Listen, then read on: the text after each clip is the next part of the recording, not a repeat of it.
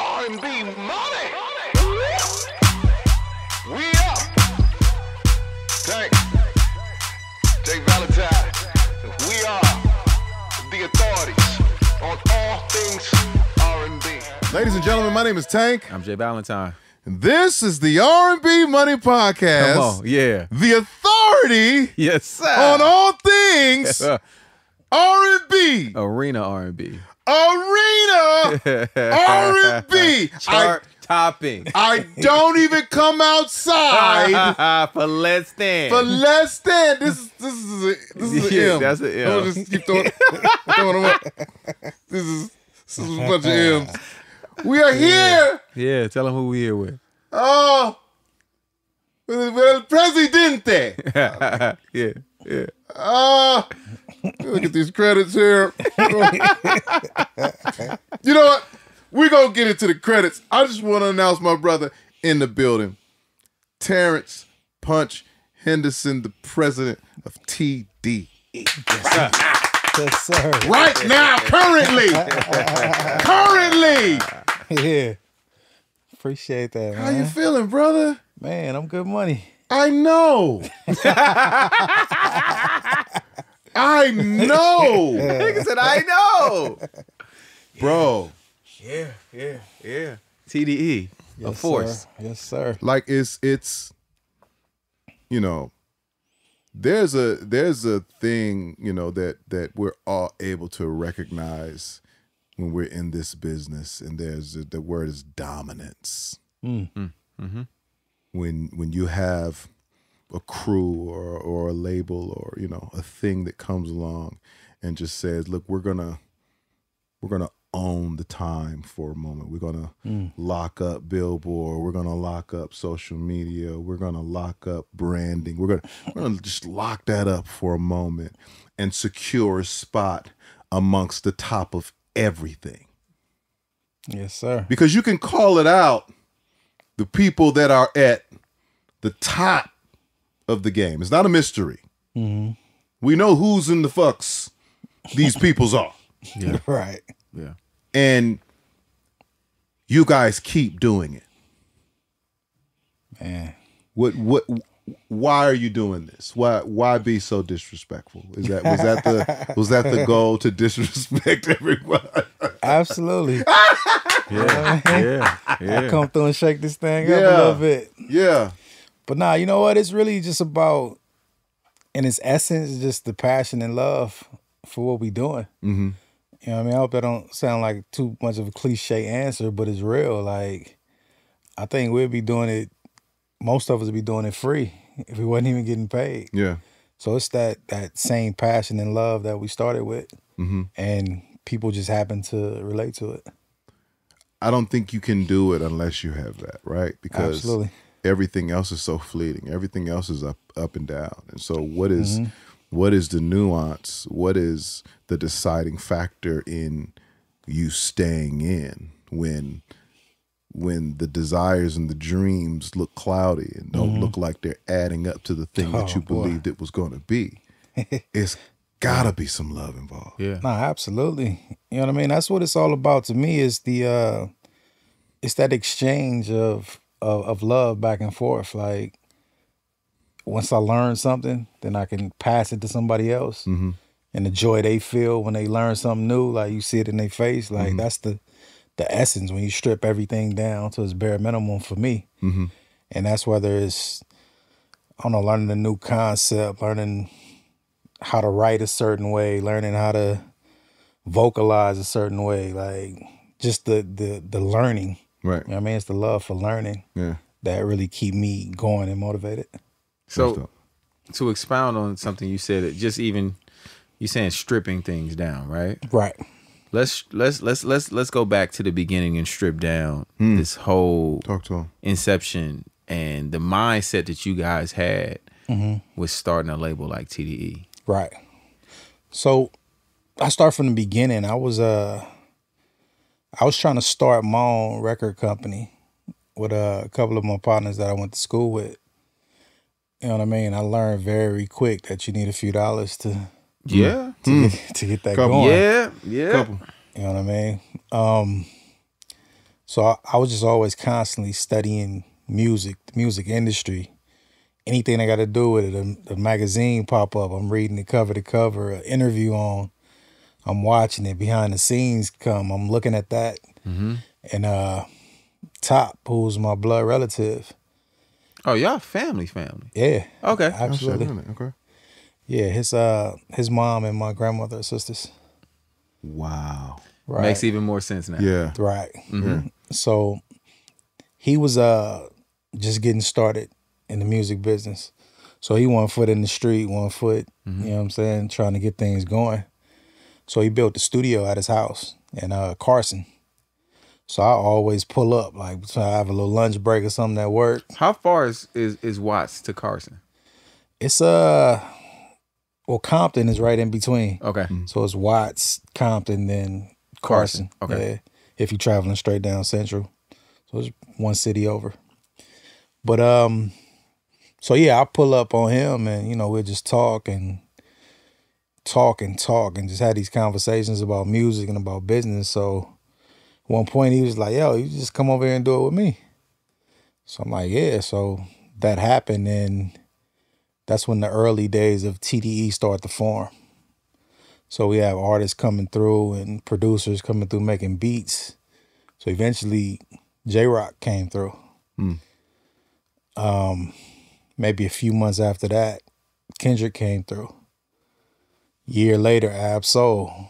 Then we got Schoolboy Q s- shortly after him. So And what year is this? this is uh it's about 04, roughly. Maybe 03, going into 04. So what? Look. So so what was your your setup, or in terms like in terms of the structure? What was the invitation? Because you're saying you was you guys were starting a record company, right? Right. And what did that necessarily entail to to get the word out to get people thinking that they needed to come through and see what you guys were doing? I mean, our whole thing was to try to figure out a way to get to these major labels. Mm-hmm. So we was doing stuff like, remember this nigga Top would go to the, the industry book, the thick industry book they used to have. Yeah. And in the back, it's a glossary, like everybody names and positions and they office phone numbers. So he'd call a label and fake like he had a meeting with the CEO or whatever. and they end up calling him back and build a relationship like that. It was that or we go pat down record plant, see you in there. We go pat Listen, down. I heard the language. I- yeah. Hey. We go pad down. you wasn't gonna get that one by me. You've lived on West Coast for a long. Oh, enough. come on man! I've been over here a long, long, long time. Figure of speech. Yeah, yeah, yeah. What yeah, you got on absolutely. my 40, homie? Nah, Yeah. But so nah, you guys were really like, we're gonna start a record company, and it's going to just encompass everything a record company does, and then we're Right. gonna we're gonna start looking for the pieces to put together Mm-hmm. to make it what it is, and then you start naming all the all the all the artists. yeah. And Jay Rock obviously was from your neighborhood, so Mm-hmm. That's that made the most sense in the beginning. Right. Yeah, It's a talented young homie from your neighborhood. Yeah. It's the first thing we're gonna invest in. absolutely. But the thing is, like, we was we was winging it. You know what I mean? We was trying to see what was gonna stick. Yeah. Because again, we didn't have no prior um, experience in how to build a record label. So we just going off of kind of, you know I mean, just pieces that we seeing or stuff we hearing about and just building from there. Like even the way Jay Rock came about, like it was another guy from our neighborhood that was supposed to be coming to the studio that day. Mm-hmm. So Top hit him like, yo, I'm gonna be over there, gonna pick y'all up for the studio. So this kid got impatient. Like I guess he was waiting on the porch too long, and Jay Rock was with him. So this nigga ended up leaving. Jay Rock stayed. J Rock stayed. as soon as he walked off, that's when Top pulled up. It was like, where uh so and so at? Like, man, he took off. All right, I'm finna go to the studio. Who rolling? Jay Rock hopped in the car. Another dude hopped in the car. Once he heard Jay Rock voice, that was it. That's crazy. How long did it take y'all to get the Warner deal? Uh, we got the Warner Because that was y'all that was y'all first That was the first one. entry into the major label right. system, Yep. correct? Yep. It was uh we got that deal off of Top's relationships. You know what I mean? Like we didn't build the buzz in the street Okay. first yet, and then because of the buzz, get the deal. So it was all on relationships, and they heard rock and they like rock, and that was the deal from there. I think that was about oh six maybe. Mm-hmm. So a few years then. Yeah, for sure. Okay. So had you guys had any music out? Not, really? really. Yeah. Cause this again, this is a funny time in in the business, the transition Mm-hmm. between uh all of the digital stuff and then the blog era and all of this stuff. about. Yeah. Yeah. So it was like, where do you actually put it out? We press some CDs up, Mm-hmm. Mm-hmm. you know what I mean, and you know we get out and go try to sell them and hand them out, but that was the extent of it Right. at that time. So at this point, it's just really money going out. Yeah, absolutely. Electric bill, crazy. Right. I mean, because that's that's the thing, right? Like we always talk about it. We we pride ourselves on being an informative Yeah, show. absolutely. You know what I mean? And and letting people know like what this thing takes. Yeah, and how this, you know, obviously we're in a different era now where a lot of cats is getting cracking on their phone. yeah, That's far and few. right. People don't, and and a lot of those cats that got cracking on that phone was only cracking for a year, six months, eighteen months. For sure. We talking about twenty years, twenty plus years in now. Yeah, absolutely. That y'all still doing your thing and at the highest level. Right. So that initial three years probably helped sustain what you guys are now. Oh, for sure. Cause that built all of the chemistry. Mm-hmm. That built that was the the learning period. That was the the incubation. You know what I mean? Like everything. We we imagine everything we're doing now during that time frame. Right. Mm-hmm. But like what you said though, like money was just going out. Like everybody eating off a top pocket at this point. Mm. You know what I'm saying? Everybody, the whole team at this point. You know what I mean? Ain't nobody got no jobs. Ain't nobody, everybody trying to do this music thing. So Yeah. that's dollar menu on a jack in the box every day. Talk about it. Me, me and Mr. Split of Happy Meals, right? Yeah, yeah right? Man, Taco Exactly. Bell used to be around the corner Hey, from listen, one a studio. Frutista just bring add a Frutista to mine and one of them caramel apple empanadas Yeah. for a player. I know the menu well. That's exactly what it was. yeah, when you're trying to figure it out. Yeah, so and again, this studio is attached to Top's house. So like I said, when the electric bill going crazy, like we run in the studio all night. So y'all wait, that's that, I, that's the part I, I was gonna ask you about that because you said he put a studio at his house. Right. So not only is this like, you know, this passion that he has Mm-hmm. for you know creating this label, it's not like he got this somewhere else either. Right. Y'all going to his house every day. Absolutely. So the see, it's a door that lead into the house from the studio. So niggas going right to the kitchen too. Right. Yeah. I mean, eating up all the cup of noodles and yes, yeah. cereal and whatever. So it was like really everybody's house at this point. He mm-hmm. welcomed everybody in. Yeah. You know what I mean? But again, that was the that was the period that really cemented us in what we was doing and our goals. And ultimately there was no real success from that first deal. No, it was not at all. Mm-hmm. So now you go three years, you get to the deal, Mm-hmm. but then you also find out what this music business shit Yeah. is really about. Oh, we learned quick. Cause we thought once as soon as Rock signed, we won. It's over. Yeah. Yeah. That little you know, that's when it start. Hmm. Right. You know what I mean? That's when it really you really gotta get cooking at this point. So we were sitting back, taking a lot of direction from the record company. Mm-hmm. Which never been the thing to do. Just from a standpoint of we dictate the culture. Right. There it is. You know what I mean? And they help facilitate what we dictate. So we was ta- sitting back and waiting for them to do it and tell us what to do and how to move and this and that. And we end up uh, just being stagnant for a while. And once we finally got some movement, like I think we had a, uh, we was finna impact that radio with the uh, joint that Rock did with Lil Wayne called All My Life. All my life. the week before, it was a whole regime change at the label. Been there. Bruh. We all know about those. Right. So when they come in, they shut down everything, that was going on before them. You know what I mean? And we like, yo, it was we hot at You said a point. week before impact. a week before. Shit. So they, you know what I mean, shut that down Mm-hmm. or whatever. So radio backed up. We didn't really get no real spins on it like we should have Mm-hmm. or whatever. Like this when Wayne was at his peak. This is like 08. You got everything you Yeah. need. You got Right. the boy. We got our guy. You know what I mean? So you can imagine how, how we felt at the time. Like, So do you immediately try to get out of the deal? nah, we actually said, you know what? It's a regime change. I understand it. It's business. Mm-hmm. let's try to rock with these dudes and see, you know what I mean, what we can get get out of it. So we end up going through another year of hoops and then pushing the goalpost back. Hmm. Cause what, what I actually figured out was they didn't really want us there, but they didn't want to drop us. Hmm. You know, Burbank is right around the corner. You can you can drive up to Burbank. Yeah. So they didn't want to deal with that headache, so to speak. Yeah. yeah. And at that time, I want to say there was no other rap over there. Was it?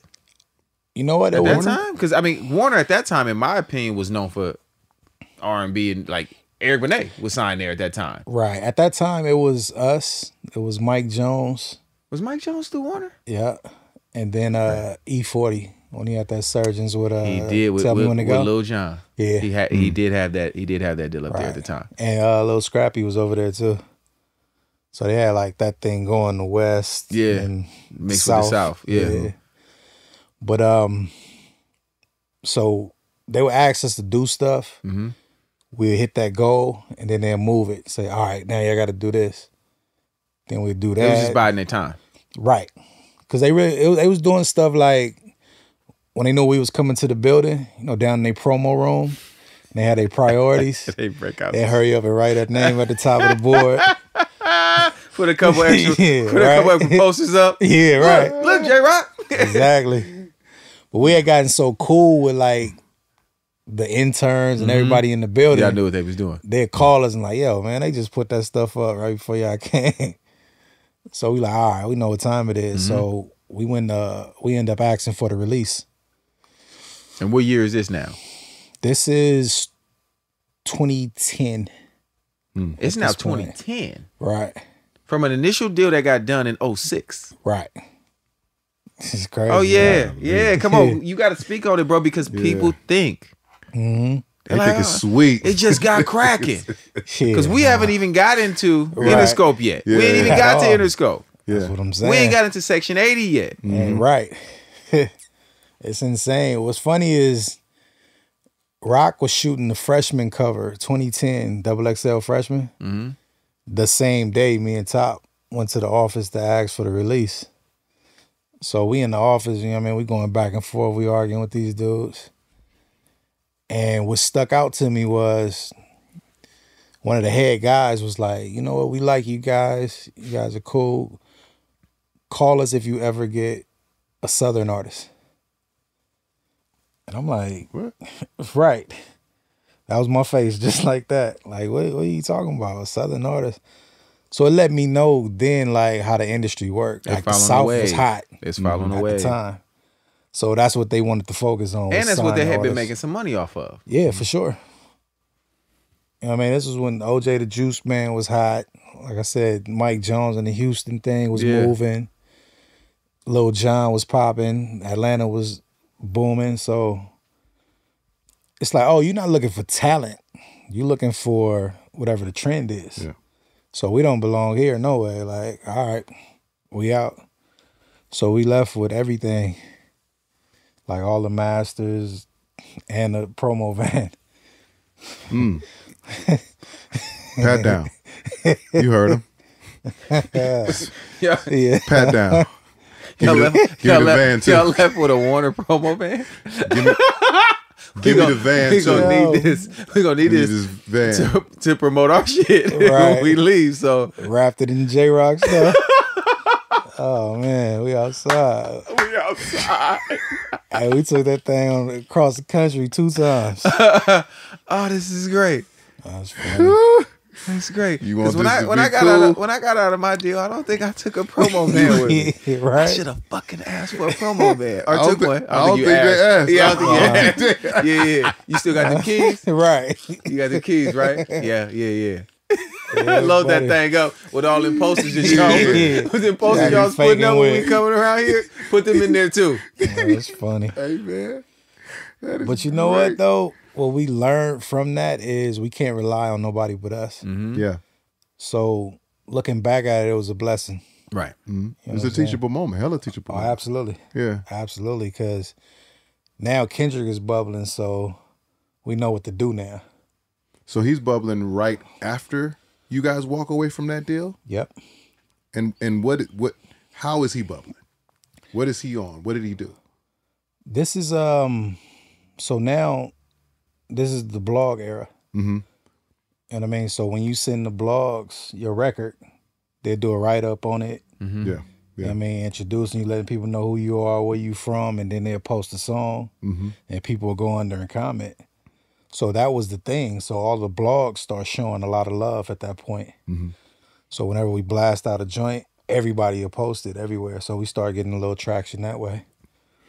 So now it's we going straight to the people now, Yeah.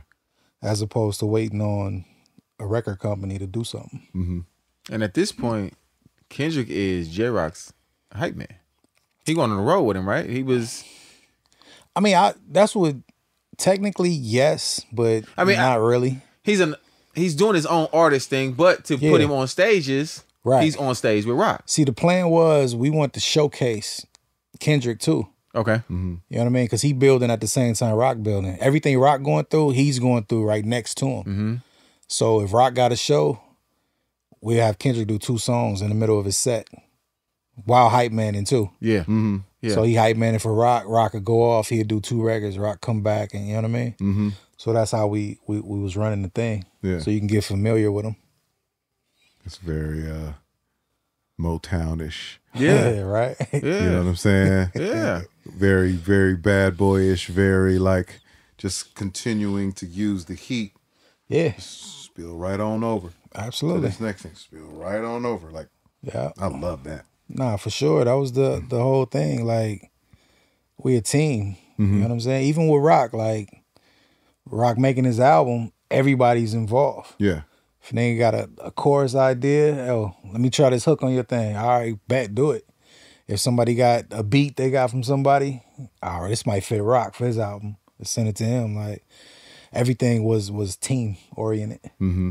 Was it a thing where was it a thing where where it was like, okay, this is what's lined up right now, as you say that. Mm-hmm. Rock is lined up right now, so everything is rock. Right. Everybody, all hands on deck. We're, Absolutely. We're on rock time. Yep. That was the uh that was the mindset because this was this is the motion we had at the at that point. You know what I'm saying? He had the record deal. He had the most buzz, so if he crack off, that's gonna open the door Open for everybody doors. else. Yeah. Yep. Oh, that's. And as y'all putting these records out with Dot, the blog start taking to him, Right. and then y'all start working on Section 80. Um yes. But even before that though, I'm missing a section. Um we'll start getting a lot of uh interest when we went to the East Coast and we did a lot of uh Sirius satellite freestyles, and this and that. This is when we like if you see old footage, it's us and uh Nipsey up there. Hmm. So it's like he was on the same circuit. He'd be leaving the uh Oh shit! you said satellite. They picked up on my phone, Oh no way. Nigga. These motherfuckers be listening, man. God damn. That's crazy. But when we on Sirius, like Nip would be leaving one of the shows, we'd be walking right in. And there's a few times that we intersected and they you know freestyle together. Together. But once people start seeing us doing that, that gained a little notoriety back here. You know what I'm saying? And that started happening around the same time the blog era was starting. Right. So everything was moving Because that's back when all media had to come through the East Coast. Right. You had to you had to take that trip to New York. Mm-hmm. You like listen, we all remember that time. These Yeah. people that's been really been in this industry. Yeah. Where like you had to do your press run. Yeah. Or Absolutely. you had to do your label meetings. Mm-hmm. You had to go to New mm-hmm. York. You know what I mean? and that's when I got a lot of a lot of my connections. Like when we do the press run with uh, Warner, my guy Richie Abbott, he was the publicist there, and he was so cool. Like he was showing me the ropes while we were doing the press run. So he's introducing me to everybody in every spot too. So now when we go and it's not about rock, I can make these same phone calls Yeah. and pull Schoolboy Q through and pull Ab Soul through. You know I mean? Before, you know what I mean, they started bubbling like they did. So what what made y'all decide to go to Interscope? Um, it wasn't more so Interscope, it was more so Dre. Dre. Okay. So the way that happened, um, quick story. Uh, I've been talking to a cat from Universal. And I'm like, yo, we got this kid, Kendrick Lamar. He coming, he this and that. He's like, oh, okay, cool. Nothing happened. Talked to him a few months later. Yo, this kid Kendrick is moving, bro. You know, you know what I mean? I might want to try to do something. Like, yeah, I heard his name. You know what I mean? Keep working. All right. So now Kendrick is hot a few months later. And I'm like, yo, he's like, man, I know your man hot. Y'all coming to New York anytime soon? I said, we ain't got no plans for it, but whatever, whatever. Dr. Dre said this nigga name on the radio on Power 106. Same exec called me, hey, we want to fly y'all out right now. Can you get to the airport? At first, you was in on an y'all hour? dime. right. Absolutely. Now it was like, uh, how many how many tickets y'all need? Yeah, the Yeah. flights is booked. Y'all can get to Just the say, airport. just say your name. say your name. They, Yeah. they, they waiting on Just say. Bumpy Johnson when you get to the airport. but it was funny uh, that, that switch. yeah. Because this whole time we had been pursuing. Right. Now it's Right. transitioning to what we Right. being pursued. Yeah. Ain't it a difference? Oh, I felt a little different. Yeah, I feel way different. Yeah. I had it for Lake Mick now. right. Yeah. Throw the truffle butt on Which that. I got that Lobster Theodore. I Right, take that yeah. too. Yeah, yeah, yeah. I know Real it's called talk. Thermidor, but yeah, yeah, that Theodore. What the fuck I'm talking about? That was exactly us. That's bro. how the shit goes, so, though. so here's the question: When Dre is saying his name, Uh-huh. is Dre involved any at that point, or Or he he's just shouted him out? recognized? You just shouted him out. We hadn't met him yet. You hadn't even met him yet. Nah. But um what made him shout him out? there's a few different stories. Okay. Like a few different people said they told Dre about Kendrick. Right, Yeah, right. you right. know We- I'm the one. Right, yeah, yeah, right. Yeah, yeah, yeah. So however that happened through Mm-hmm. some of them people, like he ended up looking at his stuff and he liked it. So he just happened to be doing a uh, uh, interview with Big Boy. Which he don't even do interviews. even- Right, right. yeah, I think right. he was just starting to was he starting to push Kush at that time? I don't remember what he was doing, but he was interviewing and they asked him about a new artists. He's like, this kid from uh, Compton named Kendrick Lamar. Stock went up instantly. the, the reason I asked that because when you say Dre, Uh huh. um, I was trying to get Kendrick on a record, Yeah. and and my OG was like, "No, I'm gonna call, I'm gonna call Top, and we're gonna get it done." I was like, "All right, cool." Right. This is right before you know, right before the mayhem. Yeah. You're for sure being pursued, but it hadn't. Yeah. it ain't go boom yet, right? Right, But it was there, Yeah.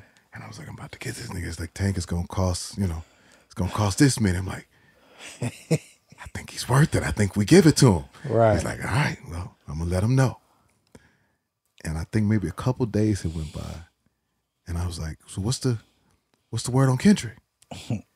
yeah, apparently Dre said he not doing no more features. what does Dr. Dre have to do with this? What is Dr. Dre have to do with this? Bro, I was I was Nick money ready, eh, song ready. Man. I'm about to get Kendrick Lamar, and the pursuit has gotten to a point to where Hmm. it's untouchable at this point. You weren't part of the plan, Chief. Good luck. You weren't part of the I wasn't part of plan. it. Yeah, yeah, yeah, yeah, wait, wait. He is shut down. It is a wrap. Next time you see him, he'll be at an arena near you. So Yeah, it got a little different. Oh, I got different fast. So you go? Do y'all take the trip to New York? Oh, absolutely. Y'all take the trip, Oh man, we met with everybody too. Like they flew us out, and then put you us yeah, in the yes, yeah. I, listen, I've been there. Don't get courted. One label, one label, one label flies you out. The other labels find out you're there. Listen, how much how much Del Frisco's do you want? Yeah, bro. Del, Del the Del Frisco's you yes. can give me. Bro, they was in 40-40 club eating, Yeah, eating yeah. red velvet cheesecake. And, Yeah. and we had a ball. But it's like we just wanted to see what you know what I mean, what the thing was. What the hoopla mm-hmm. is. Mm-hmm. Yeah, yeah, yeah. and It, man, it was such a, a drastic difference from us saying, "Yo, we dope," to people saying, "Yo, y'all dope." Like it's insane. So we met. Man, I think we hit everybody. We hit Atlantic. We hit Warner. We hit Def Jam. Did the Universal meeting. Like all type of stuff. And this was all before we even went and sat down with Dre. Before you had even sat down with him. But so so obviously something told y'all to hold off though. Well, yeah, we wasn't gonna move until we went and hollered at him too. You know what I mean? Like at this point, it ain't no need to rush. Mm-hmm. You know what I'm saying? We've been waiting for this long. Let's Yeah. see what what everybody's talking about. Yeah. So we end up uh Kendrick ended up going and writing some records for Dre. And uh And Section 80 is out at this point. nah, No? we working on section. Working 80. on it. Yeah, for sure. Because Section 80 was still an indie project though, correct? yes, but he was signed to Aftermath Interscope too. But they were But cool we with let them know that, yo, we yeah. doing this. Like this one's still on us. Mm. You know what I'm saying? And they was good with it. And that was one of the reasons why we actually said yeah to going with Dre because when we had a conversation, he was like, yo, I don't want to change nothing about what y'all doing. If it's something I can come in and help and enhance, what I mean, I'll do that. But other than that, y'all just keep moving how y'all moving. You know what I'm saying? If y'all need me, I'm here. I mean, Section 80 project was that through Empire? Mhm. That's what I thought. That's what I thought. Yeah, I think we we got their first platinum uh, Yeah, record. yeah, yeah, yeah. You know, I'm gonna make sure we, you know the? Bay Area's. Yeah. I mean, we gonna always. Do your thing. Yeah, you know what I mean? Yeah, We just be trying to help. Yeah, right. Yeah. Yes, Shout out to my brother guys. We just be trying to help. Shout out to the Yeah. Yeah. No, that's that's dope. That's dope. And then so now you okay? So you get you get the deal with Dre. Yep. Y'all shut down Tank's feature. Um, We got to get back to that, man. You got to. That that might have been Cap, by the way. That might have been Nah. Cap, by the way. We ain't never turned down no bread. that might have got lost along Somebody the threw you off. dog. Well, let's just re we reignite the conversation. You should have put down a deposit. It's I was trying. Man. That was funny. So you said, Go ahead. No, you know, nope. You were going there. so from from that point, now we're now we're trying to get into the first official release at Interscope. Right. Well, nah, you know what? Before that, um, we had did a situation with Tech N9ne and uh, Travis O'Guin. That's strange music. I remember that. I do remember that because Right. y'all was on y'all was on the road with E40. Yeah. Yeah. I do remember that. and that right there was uh that was a big learning uh experience too because I think they showed us how how to tour Mm-hmm. and how to do merch because they they operation is the best I've ever seen in the music business. I still don't have a TDE. I've been Top's been my friend for a really long time. Every time I see him, I say the same thing. You know, I got you. right. Top, I still don't got my, my hoodie. I would have a TDE hoodie on right now. Probably with a little red hat on, everything. I'd be fake top up here. Had two tickets, we had, we had everything. You gotta tell was- him to put you on uh, group chat with the merch dude. Come on, man. we want we want we want some TDE merch I here at R&B yes, Money. Podcast, yes, sir. man. TDE merch. Nah, I'll make sure y'all good. So y'all go on tour. Y'all on y'all y'all on the road Right. with Tech N9ne Mm-hmm. E40, Yeah. And y'all are sing because this is the part that I'm paying attention to. All of the schooling Yeah. Absolutely. over time. Yep. You that know was, what I mean? That was man, that was so important. Um again, just watching how these dudes work even the markets. Like they'll do the A markets, the B markets, then they'll go do the C market. So the C market is covering what they was doing in the B market. So it's pretty much all money in. Yes. You know what I'm saying? So that they they, they method of touring was was really a uh, a thing that we took to heart and put it in, incorporated in what we do. And that's how you really establish artists Yeah, that road. and build up real fan bases. Absolutely. Most people ain't going to Des Moines, Exactly. especially urban artists. Yep. Real talk. You know what I mean? Mm-hmm. People skip, uh, uh, even a major city, people skip over Phoenix Yeah. Yeah. Right. in the, in the urban space. For sure. R and B definitely don't go there. You know what I mean? And that's tough. And and I, Tank and I used to speak to a there. Lot of used to go people who are like, "Yo, when are y'all coming?" I'm like, bro, won't nobody. The booking Yeah. out here are the, and it's right, it's right next door. Yeah. But then also stopping in Fresno, Yep. stopping in Bakersfield. Absolutely. All the markets. Like people Tech N9ne really stopped overlook. in, in Modesto. Yeah, because they think that everybody's just gonna go to Oakland Right. or people gonna go to Sac Real talk. instead of saying, no, no, no, no, I'm gonna come to where you are. Just do the smaller venue, Mm-hmm. sell that out. Where were we at in uh for the tour? Where do we go? Uh, The casino. Northern California, The, yeah, the casino. Sacramento.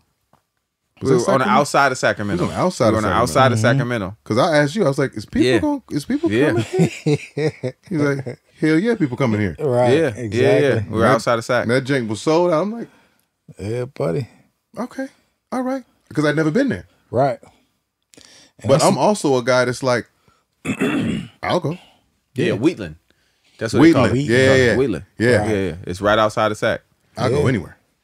And what's crazy is those people would be the most turned. Mm-hmm. Oh, they was going up. You know what I'm saying? Because they don't get to see people all the Yeah, time. and mostly they're people from the major cities who moved there for either better Right. life, get a bigger bigger house out there. Yeah. it's more quiet. Mm-hmm. Sometimes your money go bad. You gotta You gotta get go- somewhere where it's more to- affordable. You gotta you go know? to Corona. I've been there. you, He was, you gotta he was go there where your before the Corona build up though. Hey, you gotta go where your money stretch a little bit. Absolutely. Stretching. I, listen, I was stretching in Rancho Cucamonga and Corona. I was the king. You yeah. live in Kang, no boys cracking out Kang there now. around It's cracking No, down. cracking There's down. Lambos and shit out there now. They done figured me out. That's funny. Yeah, no, I've, I've, I've, I've I remember, I remember a, a show I did in, in Fresno. Did you say Fresno? Mm-hmm. In this club, Yep. club hold like about three or four hundred Yeah, people. yeah, I remember that show. Remember that? Yeah. And I say crazy. Yeah, remember Marcus up, right? Anthony was like, "Nigga, it's gonna be crazy," because he from it- Fresno. It was a zoo in there. Yeah. I remember that show like it was yesterday to this day. yeah, yeah. Had the upstairs and downstairs Yep. before downstairs. Yeah, I remember. That's how it go, man. Because again, these people don't get people that just come there all the time. So when you in their town, Mm-hmm. they want to go and have a blast, Mm-hmm. and they party like they ain't never seen you before. So is that something that, as an executive, that you push to your artists? That you like when you having your conversations about brand building, about building out their fan bases? Like, listen, it may not be sweet all the time, and it may not be the biggest venues or the biggest cities sometime, but these are the people that will hold you up. Oh, a thousand percent. Remember the first show we did with Kendrick? It was like eight people in there, bro. No way. Literally like eight people, not including the twelve we bought. you know what I mean? Still rock. What Still city it? up. It was in Long Beach. Hmm. Yeah. So we went in. I mean, the stage was about the size of this table right here. Well, it was whatever. Like Rehearsal. Let's get to Yeah. it. And these they if they have a f have fun, they gonna tell people, Yeah. and that's how you build it. Like they tell people, and they tell people, and they bring folks, and you got a fan base. Yeah. I think that's also a lost art. It's like with the phone, everybody makes it seem like, you know, as soon as you pop out, Right. it's a thousand people there. yeah. or they Because- give the allure. because this this is the other part about that. Mm-hmm. They introduce, in my opinion, they introduce urban artists to the festival mm. very early. yeah. A festival used to be something that you had to be really uh-huh. established to get on. yeah. Right. Yeah. Now you can have one record and they'll put you on a festival show, Festival. which is kind of crazy. Yeah. Because back in the day, they might the DJ might play your song at the festival to get the crowd going. Now they're actually paying you to show up to do that one song. Well, it's, and it's great for them because they're getting the energy, the sale, the whatever mm-hmm. of the one record, Yeah. but they're crippling you as a hard ticket selling artist. right. Because Well, that's the thing though. Like when you say with festivals, to me, if you're unknown, that's the opportunity to go gain some more fans. Mm-hmm. for course. one. But you can't confuse that with your hard ticket sales, like you said, because you'll go do a show and nobody show up, and you do a festival and the whole tent full. That's because it's a thousand other artists on this bill, Yep. and people are floating around Yep. to see what's what. Yep. So if you there and you got one song, rock out, Right. kill it, and try to gain some more fans. Mm-hmm. So when you do your hard ticket show, some people might show up for you. Yeah. yeah. it's just it's just like the idea of you hitting that festival stage Right. and then having to come to terms yeah, right. with them seven people, them eight people in that Yeah. venue. Like Yeah. And that is a reality. I didn't know nothing about no festival. So I was never, Mm. you know, programmed Yeah. to to believing that that would be a reality for me. Well, the one thing that did kind of I had to kind of get used to was I had was been singing backgrounds with Ginuwine and Aaliyah Yeah. in arenas. Right. Mm-hmm. and then they would call me out to sing a little solo, and the, Yeah. the screams was crazy. I'm like, Right. those must be my screams. You know what I'm saying? It wasn't your no, no, scream. those the the nigga with Ginuwine screams. He didn't even know my name. You heard that nigga with Ginuwine? That nigga was all right. Yeah, that nigga with Ginuwine. That's hilarious. but when it was my turn, I was for sure, you know, I was prepared to thug it out, and thug it out I had to in a van right. with everybody and the, the crew and the equipment. Like Exactly. nigga, I did I did a dirt floor with Yeah. with two mics. One mic for me and one mic for my background singers. And they Yeah. was both on short cords. yeah. And I still took my shirt off Absolutely. and I laid on that dirt floor and sang way. my song. No way. You laid on? Absolutely. yes, sir. Absolutely. Fuck my little outfit up. Yeah. Got on my knees. Nigga thought he was Lil Melvin or something. Listen, Yeah. them 32 people in that place felt me. Absolutely. I'm sure they talk I'm sure they still it. talk about it, right? And as you say that, I'm just like, that's just a lost art It of is. just getting back to the streets. That you, you know, you know what it be too though. It's a lot of ego involved. hmm So to go out there and there's only a few people out there, like that's not a comfortable feeling for a lot of people. Yeah, Especially you don't have that mindset where I got to turn these twenty people up. yeah, You know what I mean? Because how artists are presented, again, kind of like what you was mentioning, they presented to be stars already. Mm-hmm. When that's not It's not the the real case. thing. It's not at all. It's not the case. Even like with the artists we got, right? Like the first four dudes, that promo van I'm telling you about, literally followed Game on tour across the country in that promo van. Hmm. It's it's 15 of us in that van. You know what I'm saying? Opening up for for Game during his tour, his LAX tour. hmm I made it onto that album. I did get it almost Kendrick feature. Oh yeah, you were on that Album. See no evil. Yeah, Yeah, you were right. Game called Yeah. me said I got I got to put you on one. That's I got one. I got one with you and Kendrick. I said, me and who? Yeah. I'm on the way. But like, so the new artists that come after that, mm-hmm. they coming into an established situation. Yeah. So now they can hop right in on the tour bus. So they don't know the struggle that we built and went through. Tank and I have that conversation all the time, bro. Yeah. Cause he like I am a and for anybody who's watched the podcast, they'll say this. Like, I'm a reminder of that to people. I'm like, hey nigga, Yeah. I slept on the floor. Yeah. Tank be like, yeah, yeah, chief, but you know they ain't gotta sleep on the floor no more. I- but I did. you know what I'm saying? Yeah. And and there's and there's something to to building it's building up tough skin Absolutely. to dealing with this shit This Yeah. shit. and understanding that, hey man, it's gonna mm-hmm. get ugly sometime in here. What are you going to do Yeah. Real talk. When you're faced with that? Yeah. My thing is, I'm gonna remind you just so you understand, Mm-hmm. and I want you to be grateful for the position that you're in. Can you say grateful one more time? Yeah. Because that is, is not that is not a thing. Not a Right. and exactly. especially not in the music business. No. Yeah. People being grateful. thing. They- They feel old. Right. Like nobody owes you anything. That's real talk. I going back, I chose to sleep on that floor. Yep. I could have stayed my ass in the bay. Mm-hmm. I could have did whatever hustling I was doing back home Yeah. in my comfortable bed. I was like, you know what? I'm going out here to make a life for myself. Right. So in doing that, there's no furniture in that room. exactly. but that room is connected into a house that has a studio. Yep. That at any point in, in, of the night, I could walk my black ass over there Go in. Yeah. and start writing these songs Real talk. So that I can try to change my life. Yeah. Yeah. And I am grateful. it builds for it, that. It built so much character, bro. You know what I mean? Like I remember we had All Star Weekend. Like we all drove down, but That's, we, that's definitely a time where you realize you're not that you're poor bro, because there's so many rich niggas at All Star. man, we at the at the Flamingo, ten niggas in one room. Woo! You gotta you get talking sleep. about the Vegas All Star Weekend Yes, that year. when niggas was when niggas had a sideshow. Hey. That year. Hey, it was up. yeah, right. It was niggas galore. Niggas- Oh man. Y'all was ten. But we ten in deep one in, in one room.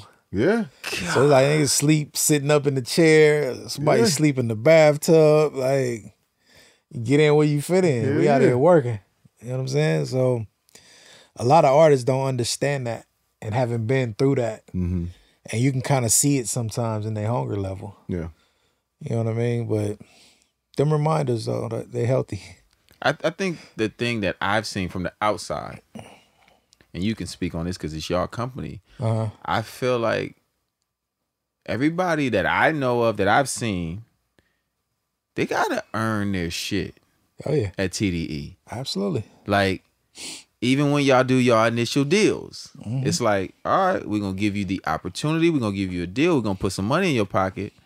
But this is not you're a star today. Right. You're not you're not Schoolboy Q today. You're not Jay Rock today. You're not Kendrick Ab-Soul SZA. You are brand new. Right.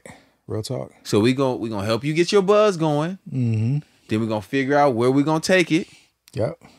Cause that's the other thing. And if you know, and if I'm getting too deep into how y'all do y'all business, but nah, you good. how y'all license deals Mhm. more so than it is y'all doing label partnerships Yeah. or you know what I mean? Like y'all are fully owners of TDE. Mhm. There is no code this with this company, that company. Nah, it's uh, it's just, you know, it's just part, real partnerships. Yeah. You know what I'm saying? Like the SZA deal, the first one we did with with RCA, it was a licensing deal. I think it was like at the time was kind of one of its kind. Mm-hmm. You know what I mean? It was kind of the transition when people started breaking away from The giving away everything Mm. for draconian. Okay. Exactly. Mm-hmm. So, you know, we just try to just try to push the envelope. You know what I mean? Try to try to break new ground. Yeah. You know what I'm saying? Because, like, again, the rules of this business are so old, and we still living by these same old standards. Like, we're not even in that time period no more. Mm-hmm. So the deals need to be updated Yeah. and switched around. So that's what we try to we try to push the envelope on that. So when you go from you did the Warner deal, you now you do the Interscope deal. Now you got the shout out from Dr. Dre. Yeah. Um, he he uh he shuts down my feature. We'll text him when we leave about that. Um, when is the moment where you guys, as as a label, as guys who've been trying to crack the code, because now you know the deals are one thing. Getting a deal done is one thing, Right. but actually feeling like you're headed towards somewhere really successful and even seeing some fruits of that labor is something completely different. yeah, for sure. Wh- When is that turn for you guys? For me, that happened um before all of that actually. Okay. This happened in uh 2010 when we put out the uh, Kendrick Lamar LP. No EP. I'm sorry. So one of the songs we did on there is a song called Faith. With I'm on it with Kendrick and uh BJ. You're Uh, on it. Yeah. Tell them, tell them, tell them what you're doing on it. Yeah, you know what I'm saying. Bars. Yeah, bars. yeah, yeah. Talking a little bit. Don't get it twisted. Yeah, yeah. Because they just think he'd be on Twitter. No, no, no. He, Right. he knows because he does it. You know what I mean? He's Yeah. ass punch on Twitter. There's a difference. That's funny. But nah, it, we was doing a um so that's out and we doing a, a in store in Carson at uh Ab Soul's uh grandfather record shop. So, you know, crowd of people coming, this young lady came up to uh Kendrick and I'm standing right there and she was like, yo, this song stopped me from I mean harming myself. And at that moment I'm like, oh, this is bigger than just recording records. We're actually affecting people's lives. Hmm. So I figured we had a bigger purpose at that point. And if it infects enough people, then it'll pay off in other ways as well. yeah. But that's the goal now. You know what I'm hmm. saying? We want to do something that helps somebody at the end of the day. So that's the moment when I realized, okay, this could really go somewhere, somewhere big. Mm-hmm. Yeah. Wow. And it wasn't about. It wasn't about what everybody else would think it was about. Not at all. It was more so about Something human. being of service. Yeah. Be of service. Yeah. Absolutely. We have something that that is going to, like, like you said, it's going to help. right. because that's Mm-hmm. that that that that thought process is is is is way more long term right Mm-hmm. and you have to be willing to to stand in that gap for a long time Yeah. to see the impact of what you've put in Yeah. Real talk. you know what i'm saying? because everybody's trying to everybody's trying to get something out Getting something out. Yeah. Mm-hmm. everybody trying to That- re- put that's their hand in the bowl a, yeah a, a perfect segue to. I mean, because I'm I'm gonna be one of the fans now. Mm-hmm. Why it be taking y'all so long to put these damn albums out, Punch? you know what I mean? I'm one of y'all now, Twitter. Yeah. I'm asking Punch. I think he kind of explained it, mm-hmm. but yeah. like y'all, y'all move at your own pace.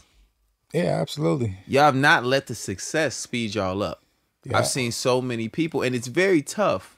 It's a really tough spot that y'all in, Right. Because people are always like, "You got to strike when when it's hot. When I iron is hot. You got to Yeah. do this when it's this. It's all." But everything they're talking about is fast tracking, mm-hmm. right? Which leads to the product not being as good. Right. You know, it's funny. I had a conversation with uh with Jay Z, Yeah, and we was talking. I never had one of those. Go ahead, brother. Go ahead. Just Ooh, go, I go you, ahead. man, it's- You know what I mean? You know what I mean? It's one Yeah. thing, after, one No, thing after another Yeah, you know what I mean? No, no, that's my guy. that's that's But Go ahead, no, man. The we- champagne's pouring. It's okay. But now we, we were in the studio talking, and he was like, uh, I think the new Ninja Turtle movies that came out at the time. Mm-hmm. He was like, man, the Ninja Turtles can come out and do 300 million. That's not going to get Tarantino to change his script. And that always stuck with me. Because I'm like, no matter what's hot and what's going on, it's not going to move me to change how I'm moving mm-hmm. it's not gonna change my direction on the goal. And the goal is quality music. Yeah. Regardless to anything, like we want to be honest and we want to give you quality. Whatever happens from there happens. So as far as taking long, I look at it as we giving artists the space to create something great. So it's not we're not on nobody else's timetable. Once the artists feel, okay, I'm ready, then we're gonna be ready and we're gonna go. But that's also a part of y'all having real ownership, Oh, for sure. right? Because if you're if you're you could be pressured on this Yeah. release schedule, Right. you're pressured into, hey man, we gave y'all Mm-hmm. this amount of money, Yeah. and we need to meet these numbers by this next quarter. So we're gonna need a Kendrick album or a SZA album or a Schoolboy album, Yeah, a rock course. album. Absolutely. Now we need one every quarter, or we need one. You know what I mean? So, but course. with you guys See, maintaining no, who the, you the were, thing with that is, we got good partners that trust us too. hmm You know what I mean? So yeah, they get antsy. I mean, it's about market share and, and the whole nine, but they also understand when we put out a product, people usually relate to it and it gets some movement going. So it's not like, yo, we need this or else. It's like, all right, we trust y'all, do y'all thing. So it's never a, a it's never any contention there. No no real contention. We'll have conversations, yeah, I know. It's taking it's taking a minute, but you know, trust me. yeah, What happened last time when we took a minute? right. So And But that's just- how it used to be, though. Yeah, yeah. But even even who you guys chose to make your your partner Mm-hmm. once you start bubbling is another guy who takes his time. mm-hmm. Dre, don't, no- don't nobody tell Dre. Don't nobody tell Dre when he's supposed to put something out. absolutely. So he understands too, though. And I think that is a very important thing. Someone asked me the other day something completely different Hold on, about before you change start, let me clear up a misconception for one. what's that? Uh, we put out albums every year for 15 years Okay. before we got this rep of we take too long. you know what I mean? You did? Like You did? absolutely. Go back and look. But he he's saying TDE Right. put out something every year. He's I see not how he did yeah, that. I yeah, see yeah, what he yeah, did yeah. there. But even like if you take Kendrick for example, right? He got a lot of flack because it was a five year gap Mm-hmm. Between his last two albums. So from Damn back, it's every year and a half. It's an album coming out. You know, if you add six months five times, that's two, That's two and a half years, right? And what people what, also what people don't account for is we was in a global pandemic. You So- know what? so- you moving the goalposts. No, I'm saying You said- everything you, shut you talking about moving the goalposts earlier. It sounds it sounds good. This is real. really good what he, he said. writes lyrics. He does, yeah. This guy's No, talented. no, this is this is real talk. Trust me. but nah, it's it's it's a, it's a real misconception. Like the last two, it was gaps Mm-hmm. because of whatever reason. But before that, it It was back to back. It was constant Yeah. for years. So, but I guess you know what have you done for me lately? No, for sure. You know that, that's what this industry is. They want to Yeah. scroll and see it. Right. Exactly. But what I was what I was what I was saying though too was that being mindful of the partners, Yeah. right? Because you could have also gotten into a deal with one of the companies that flew y'all out, Mm-hmm. and it maybe don't work that way because they see it, they they get antsy, and they don't understand artist sensibilities. Yep. They don't understand the way that Dre understands it. Yep. and have the power that he has within his own system Mm-hmm. and his own building to say, hey, hey, man, Yeah. no, no, no, Leave no, no, no. We trust these guys. Real talk. Let them do what they do. Yep. And I think because sometimes people rush into, you know, when they getting all that attention Yeah. and those shiny, you know, those those numbers, Yep. and now they're just signed to somebody who really don't understand who they are. Nah, that's real. But again, remember when I when, go back to what I said. The reason we even signed with Dre in the first place, that conversation. He mm-hmm. said, "I don't want to change nothing y'all doing. Right. He Just just want to a part. help if yeah. I can." Right. And he stuck by his word. So, but even further, like even outside of Dr. Dre stuff, even the partnerships that we have with RCA, it's the same situation. You know what I mean? But you know, we have a track record, we have a brand, and a whole thing that everybody respects. Yeah. You know what I mean? And we respect their time as well. So it, it, it works to where there's never really any any issues. Absolutely. That's a great. That's that's a great way to now bring up your R and B side. it. Do it. Because Yeah. now we talking about RCA. Come on. talk about it. yeah. And at RCA, Get right to it. there's this phenomenon. Mm. Yes, sir. Her name is SZA. Yes, sir. And this is the R&B Money Podcast. So we like to now jump into Mm-hmm. just you guys have established yourself at this point as a powerhouse rap label. Right. Even if that's not the, you know, the intention, Mm-hmm. it's just what happens. It's the music business. Everything is about boxes that nobody wants to be in. Of course. but now you're in that box. You're West Coast, gangster rap, all those things Right. just this is what they do. Yep. Then y'all hit a full, a full turn Yeah. and say, you know what? We're gonna sign an R&B artist that's not from the coast, Mm-hmm. and it's a woman. Yep. What's the what's the thought process into that? That's exactly what the thought process was for me personally. So I'm looking at what we're doing. So we established. We got Jay Rock, we got Kendrick, we got Schoolboy Q popping on the radio now.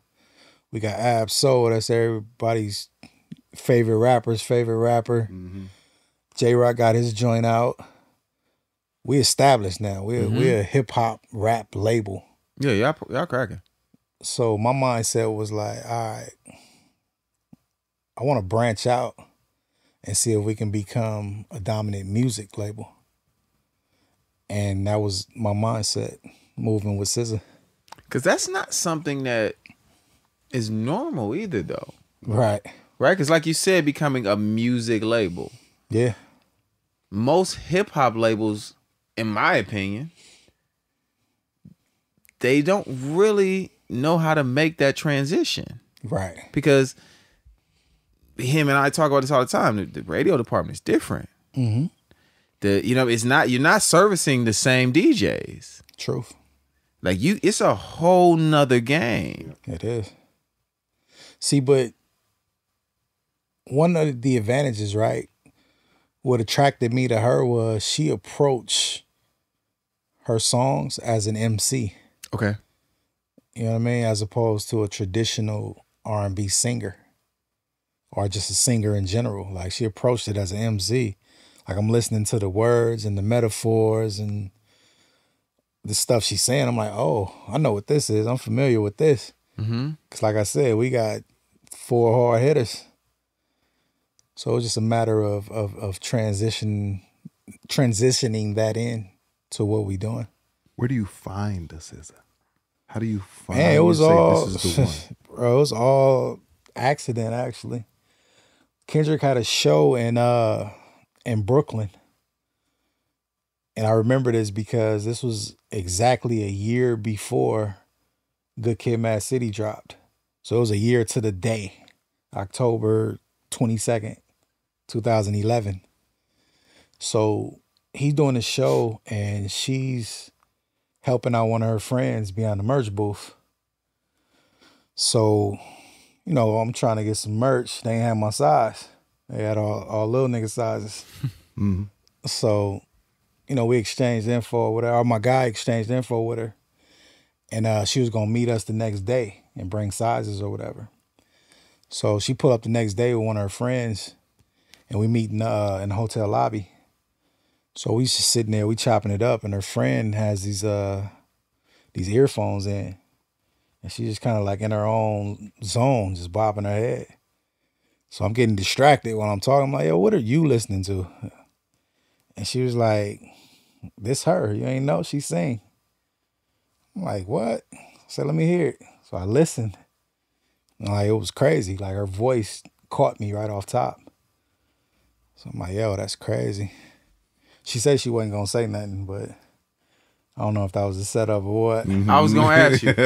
I was gonna ask you. Like, So you be bobbing like right. Yeah. you got a vibe. You be having You got a vibe. I'm gonna be over Don't here with these t-shirts doing. and shit. I'm gonna try to act like right. I'm not what you listening to. Just do you.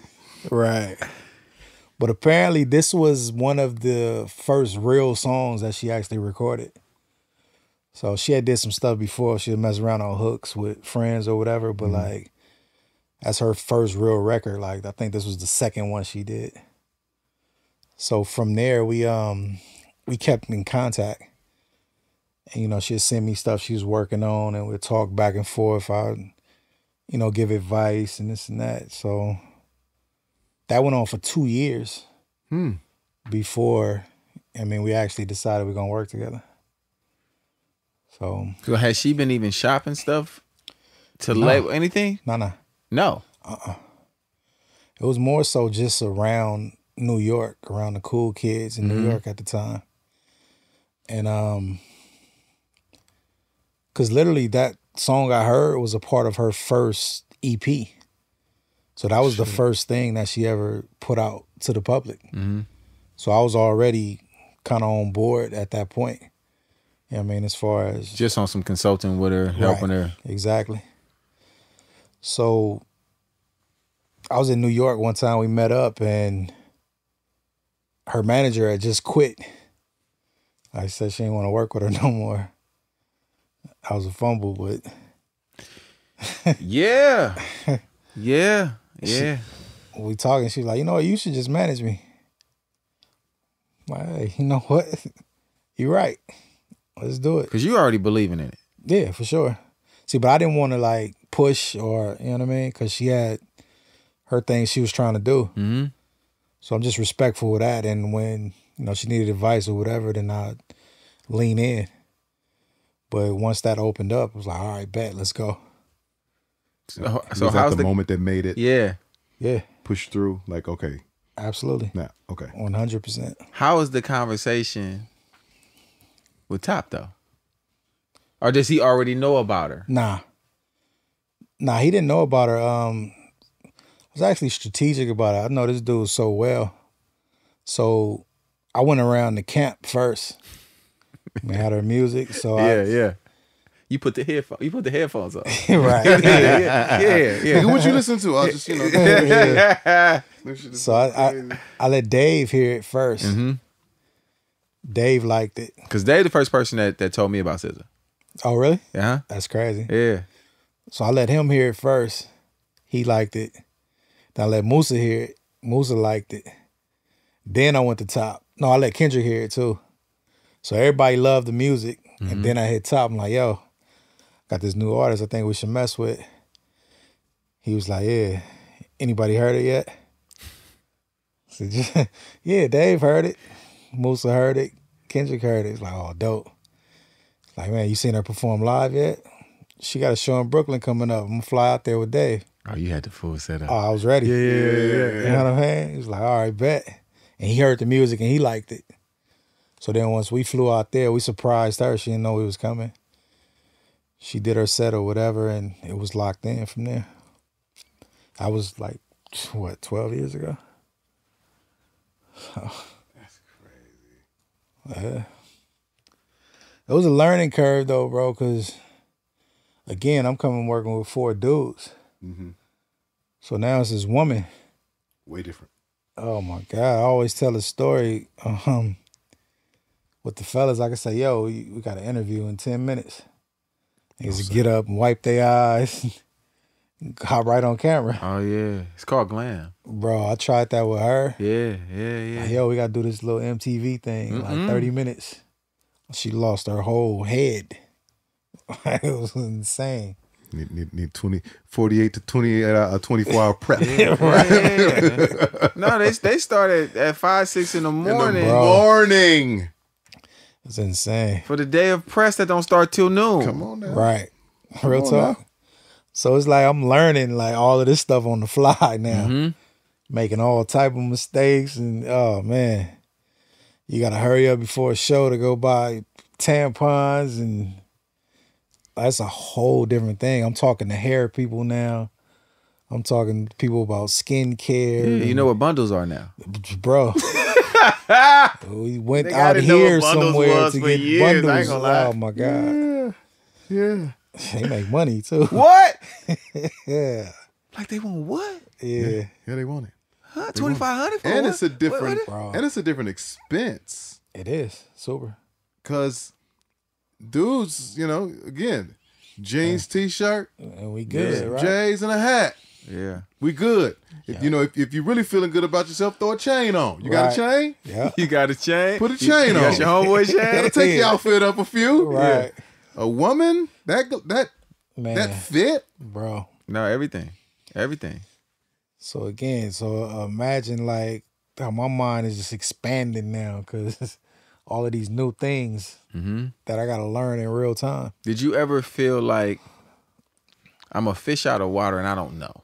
Like, like almost, am I holding her back from a, from a management standpoint, right? Because they, you know, I, I talk about it when I first started managing Tank.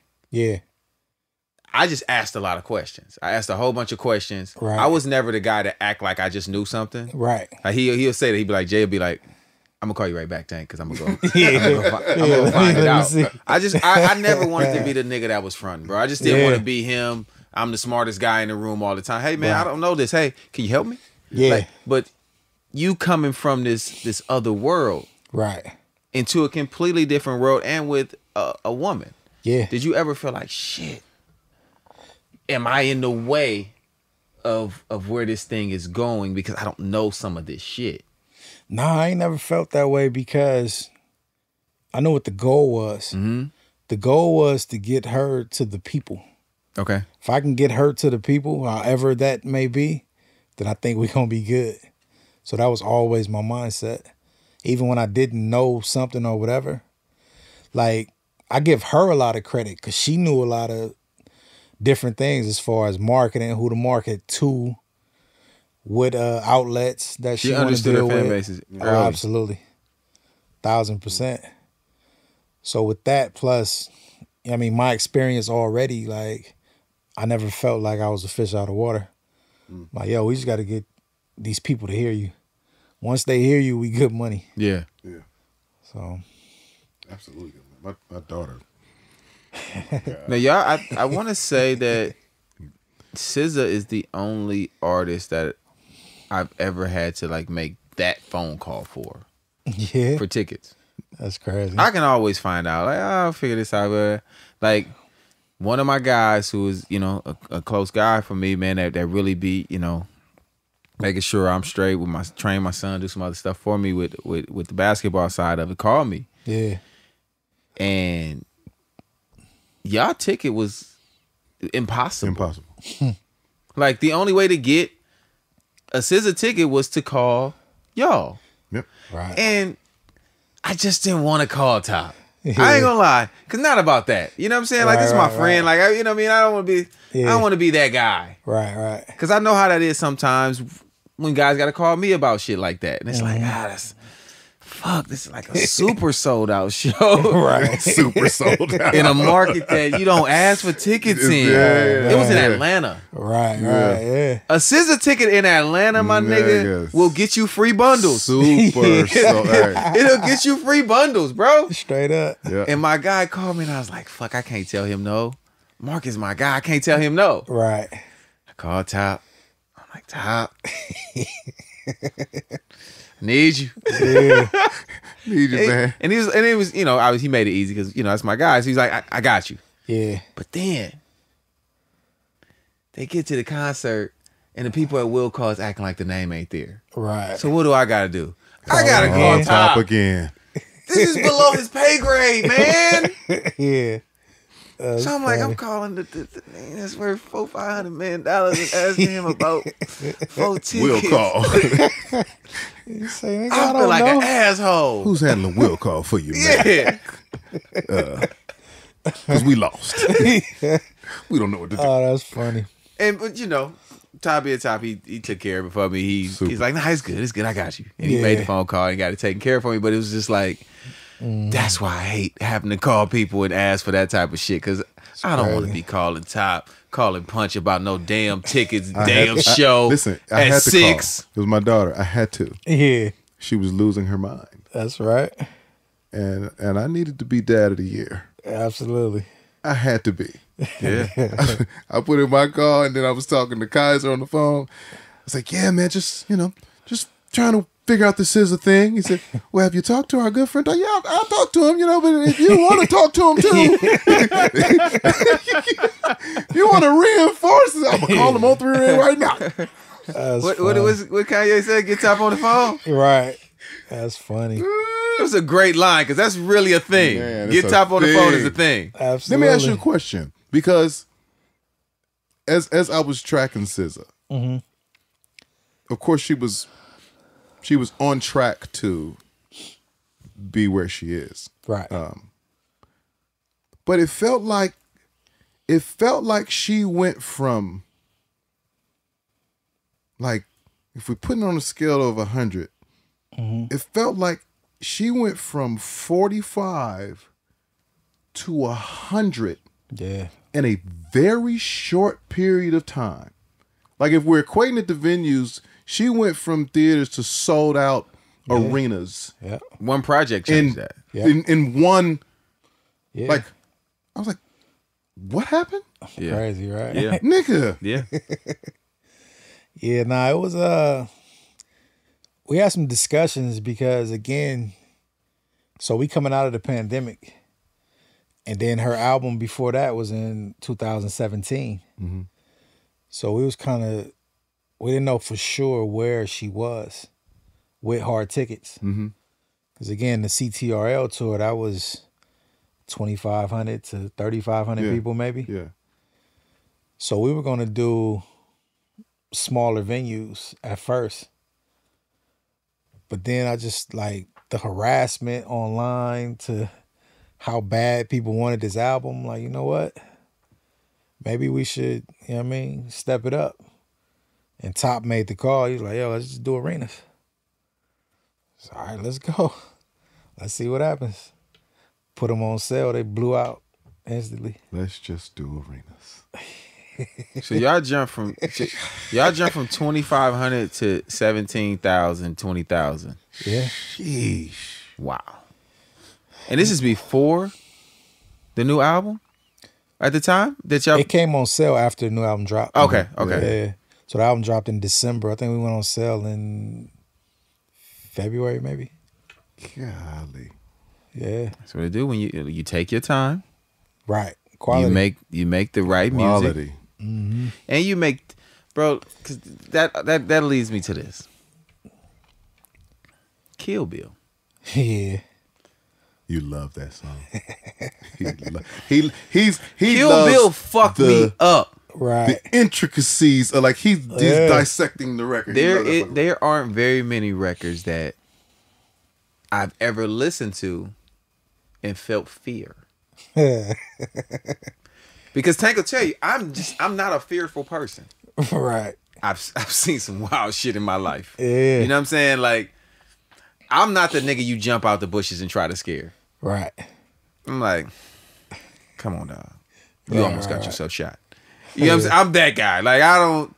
I'm listening to this song Uh because, like he said, I'm a guy. I'm going to dissect and listen to lyrics. I was like, fuck. Right. That was my that was my reaction. Fuck. Yeah. Did you hear what she just said? You know, you know the illest part about that record? She wrote it in like 20 minutes. That's scary. That's scarier. right. Because that's the type of shit going through her head. That's scary. that it's right there at the front. Oh lobe. my god, yeah, buddy. bro! As a man, Uh huh. listening to that type of record, you say to yourself, "Hey man, don't be playing, Hey, cause some of these girls ain't playing." But you know, it's ill. That's her gift. Her Mm-hmm. gift is to say the things that people thinking, Right? but won't necessarily say out loud. They may be uncomfortable. right. yeah. She's a voice. So to say I'm, I might kill my ex, Yeah. like how many girls really thought that, but just ain't never said it out Right. loud. And ain't typed it on right. you know on on the socials, but now they got a song to refer to Yeah. To give them the gas. So when the album was uh when we was playing it for certain people, like we play it for the uh DSPs and And rumors are people. that you would play them. yeah, right. She wouldn't go. Nah, She like, I'm cool. yeah. Tell me what they said. Everybody react to that song. Like all the girls that come up, all of the, the interns who was sneaking in listening, Yeah. come up to me right after. Hey, I love that song. Say, you relax. you know what I mean? Yeah. Don't you go do nothing. Yeah, listen, the motivator. right.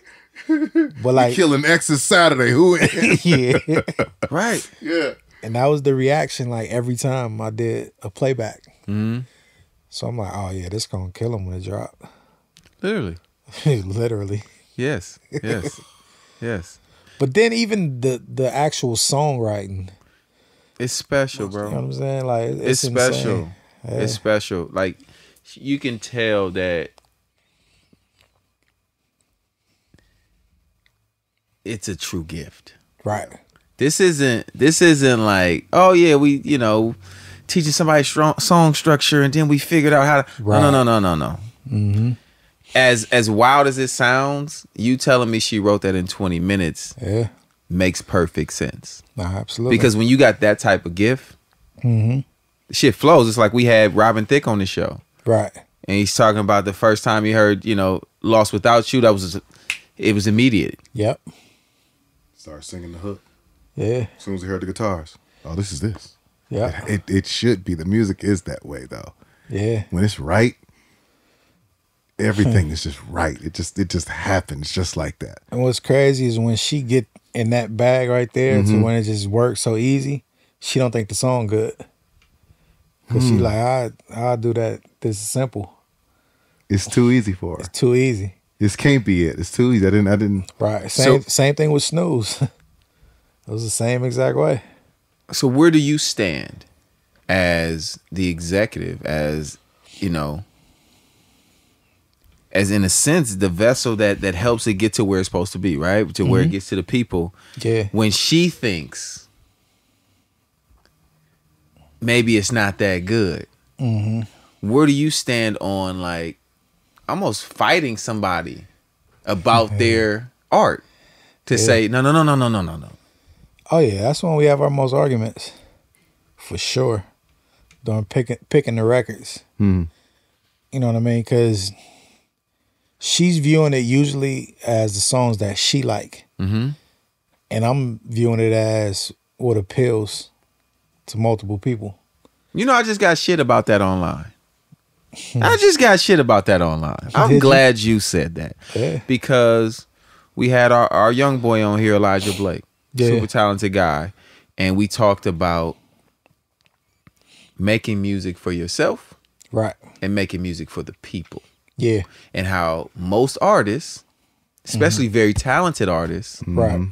make music for themselves. Yeah.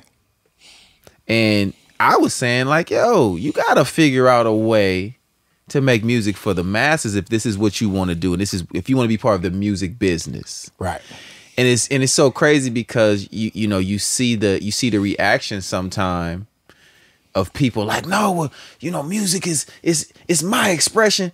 That's cool if you want to work a eight hour shift somewhere and then do music just at the house Right. or if you want to actually make this your career and mm-hmm. perform this for the masses, Right. at some point you got to make music for them. Definitely. See, I um I feel equally both ways. You're artist. I'll tell you why, because if you're making it for yourself, mm-hmm.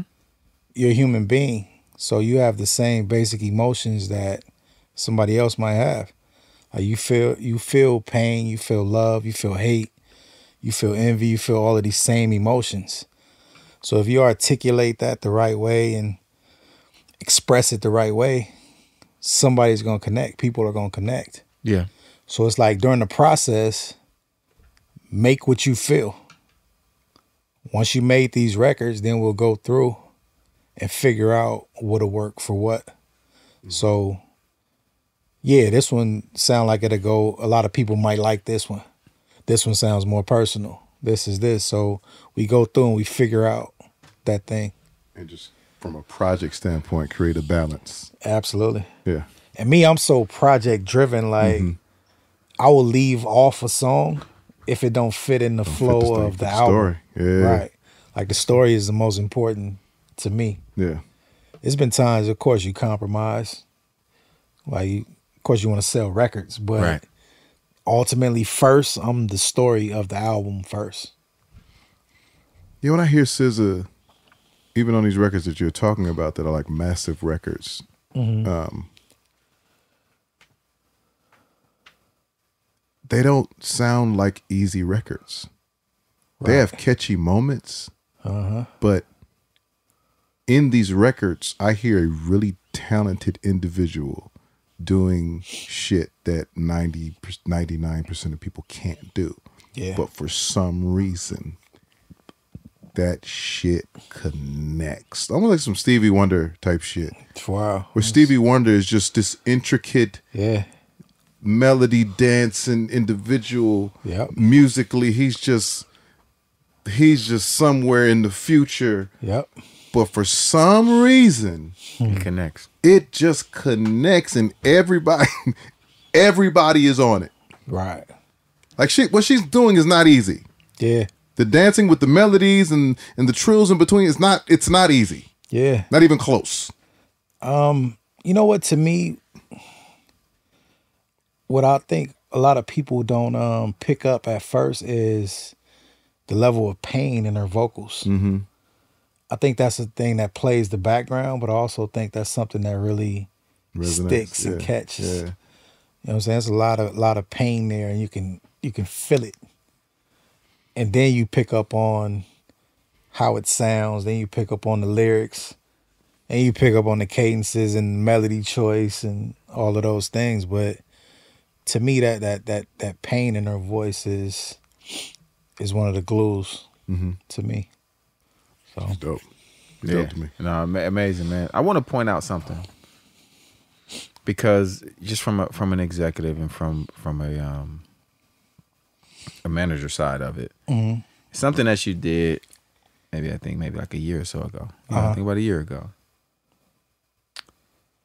when she got snubbed mm-hmm. at the MTV Awards. yeah, Y'all didn't decide to perform. right, most people would have still looked at it like, oh, this is an opportunity. She can perform in front of the world. But y'all stood on something.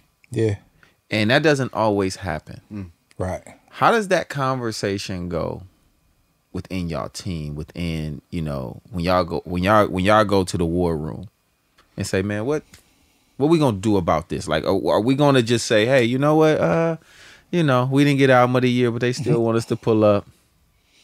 Well, I'll give you context of the story first. Um, so she got nominated. She was the most nominated that year for uh, the MTV Awards. She didn't get nominated for Artist of the Year. Artist of the year, artist of the year, okay.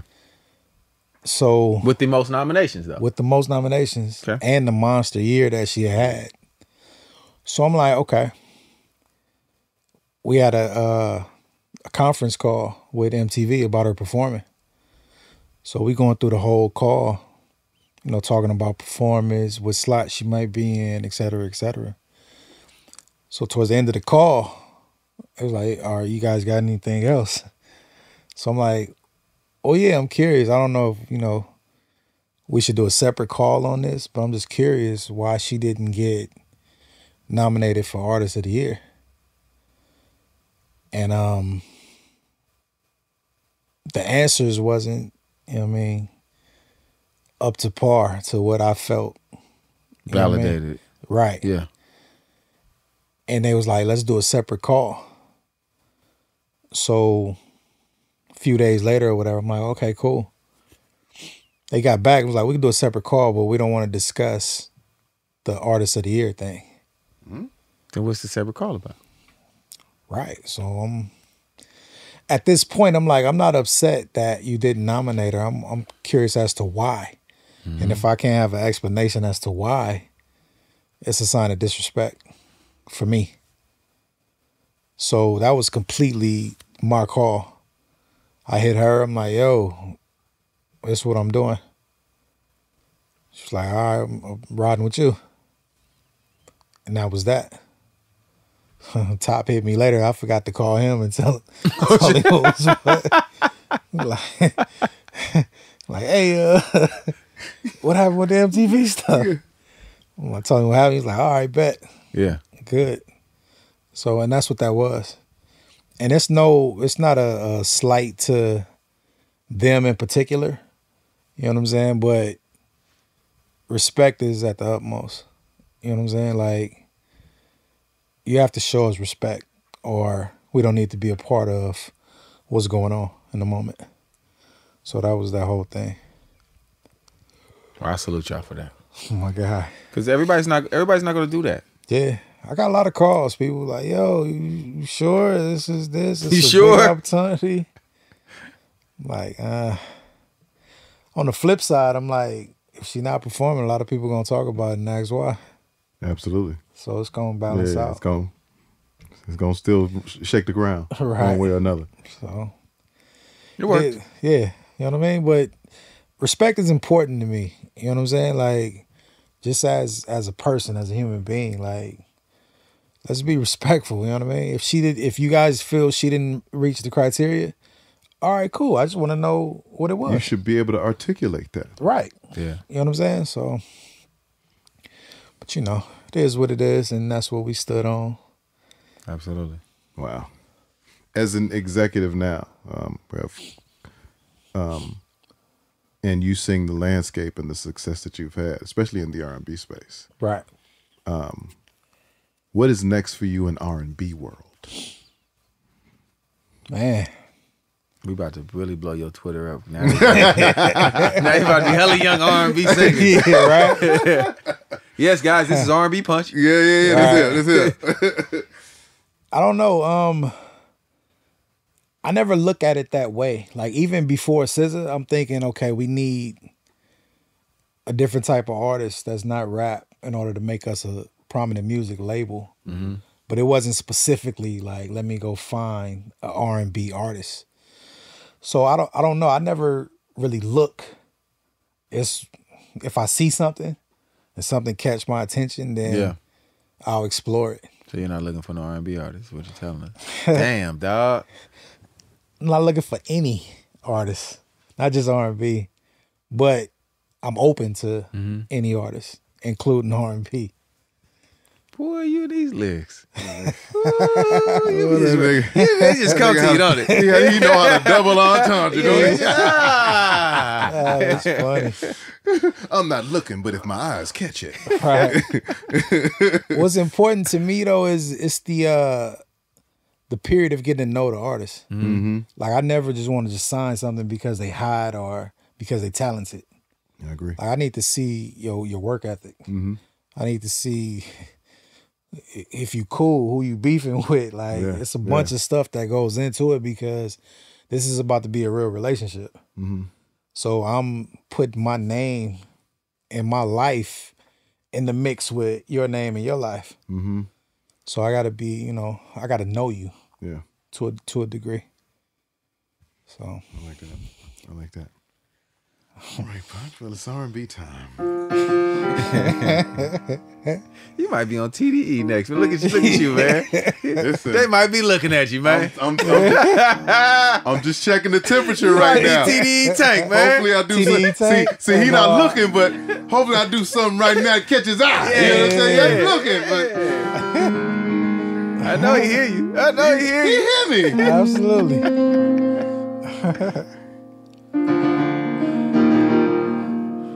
you got for him, My brother, if, as you ventured off into this R&B world, at 20,000 a night, we know you know a little something about it.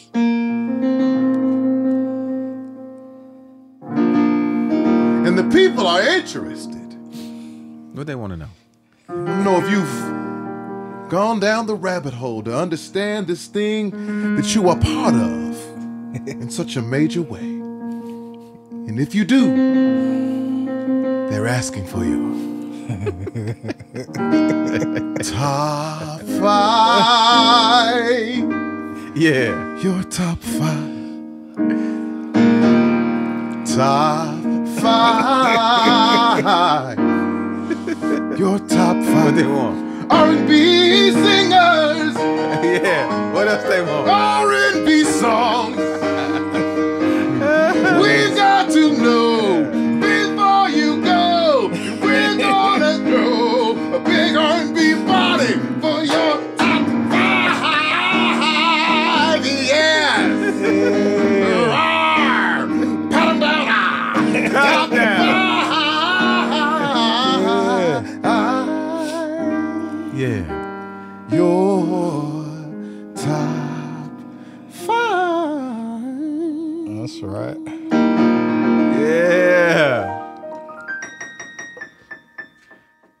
Want to know what y'all was listening to in that promo van y'all took. Man. Brother Punch. R and B punch. Yeah. Your top five R and B singers. Man, top 5 No order, right? Just five. Order. What you feel? All right. We gotta go with uh I gotta go Marvin. Mm. Yeah, it's a great place to start. I gotta go uh that nigga Rob Kelly. Yeah. Yeah. Don't be scared of. Yeah. Don't be scared of. Yeah. Got them hits. Mm, Roberto. Yeah, yeah. I gotta go with the king of R and B, Bobby Brown. Yeah. Yeah. I, I, I see what type of time you on. Yeah, I see what type of time you Yeah. on. I'm gonna get a lot of hate, but I gotta go with Keith Sweat. What do you Who make gonna from hate? We're not letting no hate happen. Nah. Nah, nah, not with Keith. I, Not s- on I Sweat. said I said this on Check. Twitter one time. They Check. went at me. Not on the Man. sweat. They went at me. I wish they would. Yeah, yeah. Not the sweat. Not the nigga that got his masters in his garage. right. Signed to himself. Before signing this to yourself was even a thing. For real. My last one, um, man. Gotta go kind of moderate. It's either between Usher and Christopher. Hmm. I'm I'm listen. Chris Raymond. Chris Usher Brown? Chris Raymond, Usher Brown. Absolutely. I like that. Usher Brown. Usher I'm Brown. not you, you can do six, it's fine. You have no argument with me. Yeah. Not a one. Yeah, no, that's my time. I like the uh the crack era R and B. The crack. So that's era that's, that's R- Bobby and uh Man. Keith Sweat. Sweat and Teddy Riley. You better believe it. You know Niggas was selling dope, Right. singing love songs. Yeah. What was it? Uh, what's the movie? Uh, New Jack City. New Jack City. Uh, absolutely. Yeah. Yeah. That's Absolutely. real R and B. Yeah, he was Right. listening to R and B when he had the skis up there. You know what I mean? yeah, I know she was a skeezer. right. You know what I mean? She, she, she broke up CMB, man. Shit. Oh, oh, Nino Cold. she broke up CMB. Nino She Brown didn't, cold it as wasn't ice. her. uh, Him. Tender dick. Anyway, uh, And he let her answer the phone, come on, man. He let her answer the phone when she called, and his homie Hey man, he was in love. he wasn't though. He was He listening. He, wasn't. he was listening to R and B. Yeah, he was. It'll put you in a place. He was. I can't even front. It'll put you in a place. and he had that fine thing too that he canceled. Oh man. He man. poured champagne on her. He was wilding, bro. He was wilding. Nino was wild. Sometimes when you the boss, I buy me another one. big thing. Yeah, go. Shit, Nino. That's crazy. No, All right, Nino. your, t- your top five R and B songs. bro, that's impossible. Come on, Yeah, come that's, on. that's, Whatever. that's possible. It's possible. R and B songs. Yeah, you know how songs. You know how, how songs go. Come on, this is your world. All right.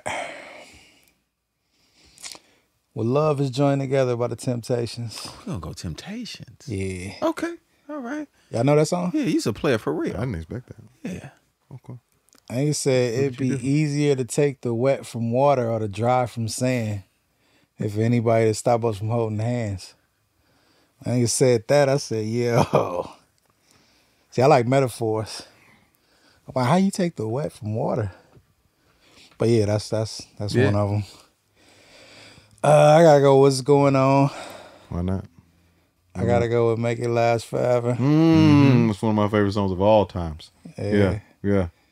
I gotta go with uh, "Smokey" and "Quiet Storm." Mm,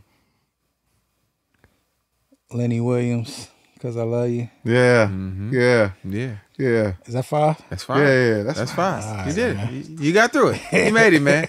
You made it. This nigga know R&B. Rapper. yeah, right. Sing. I just had this conversation with my son, hmm and I said, "What are you gonna play for when you need to let the song speak to her?" Mm.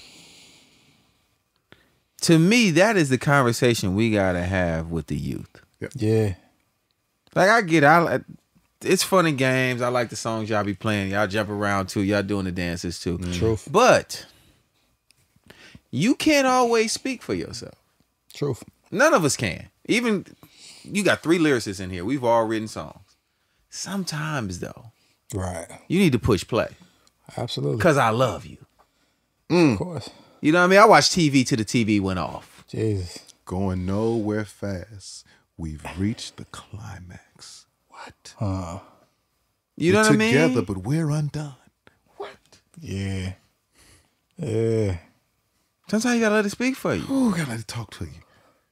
That's real. Who who's saying that type of stuff now though? That, that's what we're talking about. He actually mentioned SZA.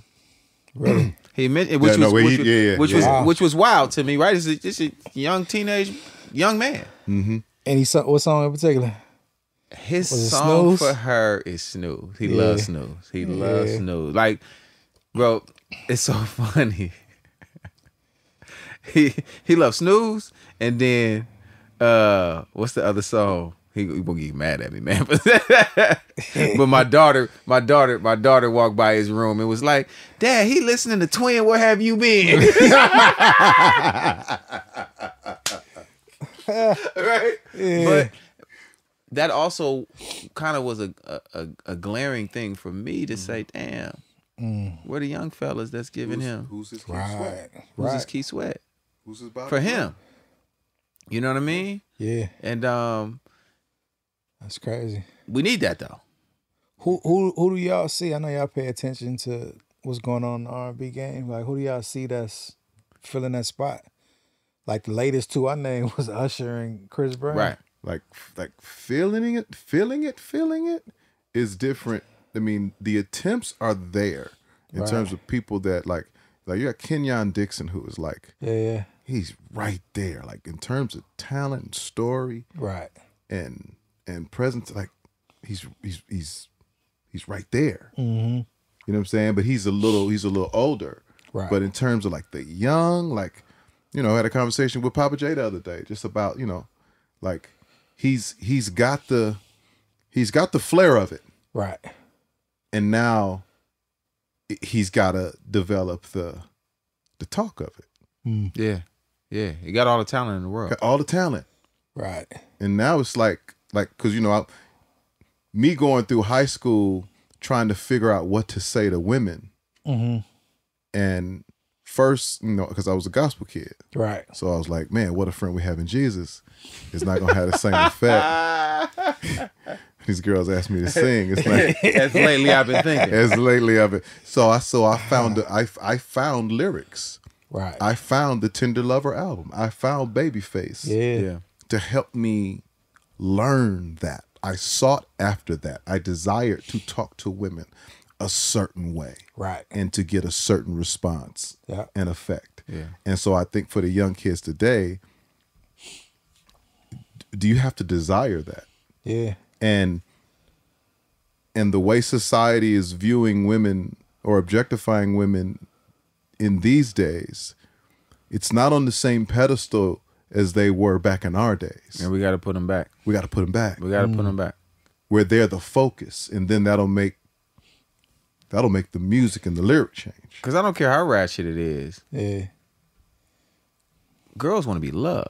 Yep. Or how Oh, ratchet y'all you saying- think y'all- she is. Y'all saying rap rap ruined it. No, I'm not saying that actually. Because if I felt like that, I would say that. yeah. I do not feel that way. I feel as if the R&B singers felt as if they had to be in that same space instead of carving out their own lanes. Right? Real And talk. of when it's just same thing as like like oh rappers want to be basketball players, basketball players want to be this, blah blah blah blah blah blah. Right. Everybody used to want to be an R&B singer Yeah. because singing is not easy. Rapping mm-hmm. ain't easy. Mm-hmm. It's easier Yeah. than singing though. Uh-huh. Right? Like you got to be able to hit those notes. Your stage presence has to be different. You Yeah. can't walk back and forth as a singer. As a singer, like at some point, you got to get in the dirt with your shirt off. Dirt. You know what I mean? It's a different Yeah. type of commitment. No, and for it- sure. it's I was in high school and this girl I liked, she like she liked this super knucklehead, super hood nigga. And I'm just like, that's what you want? Yeah. You gonna die messing around with me. Is that what you told her? But me on the Bro, he went far. me on the other hand, Yeah. I'm gonna pray with you. huh? I'm gonna open that car door. I'm, I'm gonna respect. you. She's like, see, like you're like the type of guy, like I would marry, Yeah. She gonna have fun. and I'm fun not right ready now. for that yet. She gonna be a little dangerous. She wanted to be a little dangerous, and and I think what to what Jay is saying, instead of a guy saying, okay, well, I'm gonna keep doing me. I, I I'll, I'll be here. You, You got- know, I'll be you here got to pick little up the dangerous. pieces. Got you know what I'm saying? Gu- Yeah. Guy said, well, shit, I just need to be dangerous right. and abandon this space. Right. Completely abandon it. So again, that's that's my point. Rap ruined it. Well, I rap too, so that's you know that's why I was able to survive. Yeah. You know what I'm saying? That's Do a little right. rap in there every now and then. Um, your let's make a Voltron punch, Okay. and this Voltron is going to be your super R&B artist. So you're going to pick pieces from artists from whatever era to make this artist. We're going to get a vocal from somebody, performance style from somebody, the styling from somebody, um, and the passion of the artist. Wow. Whose vocal are you taking? One vocal to make this super R&B artist. Hmm. Executive punch. Executive punch. Come on. All right. So I, I, I I'm taking my artist out, so I won't be biased. No, No, no, you do no. whatever you want. No, mm-mm, mm-mm. you ain't gotta do that if you don't want to. I got You got- to. All right, all right. You got cool. an artist in arenas. I mean, you can do whatever. You see, you see, we try to set I'm him gonna up. just, I'ma just say, We trying to set him up. okay, no TD artist. all right. Let me see. Uh, so I need a vocal, right? Yep, one vocal. Um, man, that's tough. What's the next one after vocal? I come back to vocal. Never had anybody do that before. This is okay. I'm gonna allow it. Uh, this the performance style. Performance style, give me uh, give me Beyonce Knowles. Yeah, yeah, yeah. Two and a half hours. Yeah. She Set go- changes, outfit hard, changes. What? Wind What? bundles. Right. she go hard. I've, I've never seen anything like it. Never seen anything like it. Cooking. Styling, the drip, the stage fits. Uh, I gotta go with Aaliyah. Mm-hmm. Yeah. Hmm. Yeah, I- I used to- fly, I used to like that tomboy. look, yeah. Yeah, but then got got classier. Yeah, yeah, yeah, yeah, yeah. She had it. Oh my God. um, okay. The passion of the artist, the heart of the artist. They mean it. Kanye West. Mm, don't he mean it? He not a singer though, right? No, yeah. listen, listen, bro. 808s & Heartbreak. Don't uh, don't do it. Ah. yes, sir. Yes, sir. Sunday service. Sunday service. Yeah, right. He be singing. Hey, he be singing. He got melodies too. he got Yeah, some that cold. man, that man passion is insane, Yeah. He make you believe it. bro. He telling the truth even when he not. We're gonna come. We're gonna circle back around Back to them vocals, to huh? this vocal. hmm I so many different vocal stylings. Um, David Ruffin. Yeah. Yeah. You, you do a lot of Motown. You Oh, get I it? love yeah. Motown. You in there. Bro, I used to watch that Temptations movie every night. Yeah. Yeah, the imitations. I like the I like, the, I like the raspiness, you know what I mean? And the, the feeling. You know what I'm saying? Imagine imagine Ruffin voice with Beyonce moves. That's crazy. Killing everything moving. Yeah, With his shirt over. Nick, what? Yeah. everything moving. Hilarious. Break your piano back out.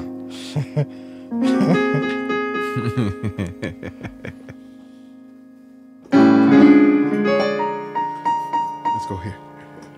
I ain't saying no. I ain't saying no names. Yeah. I ain't saying no names. I ain't saying no names. Who you was, who you with, what you did. What? Don't say shit. I ain't saying no names.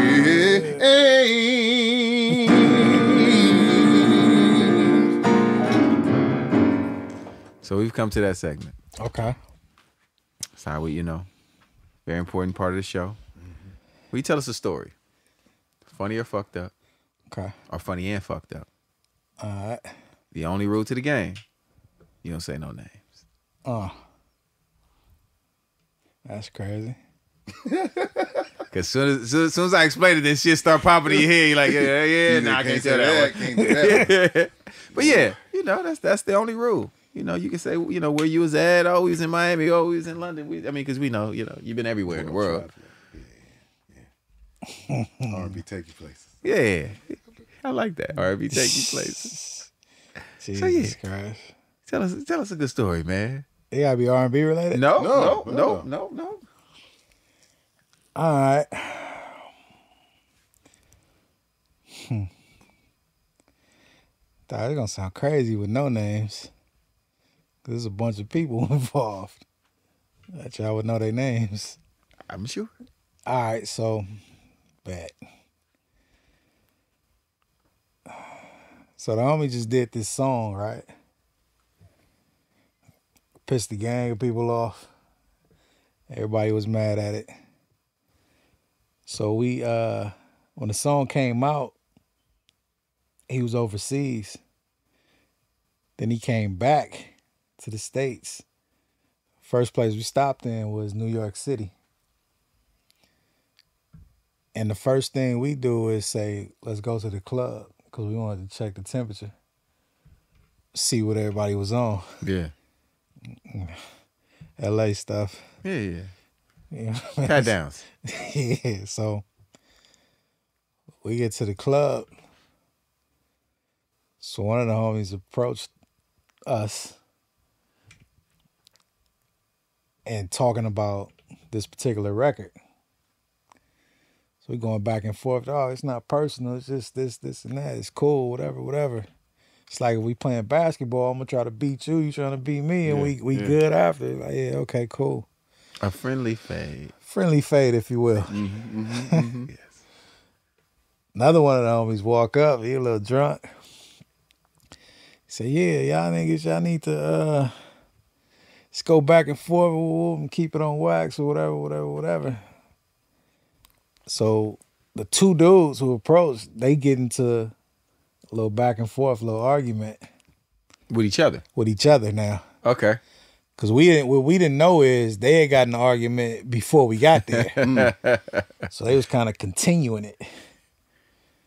So okay, things settled and we go to the VIP. So in this VIP section is literally the front roll of the Grammys. in this one section. Yeah.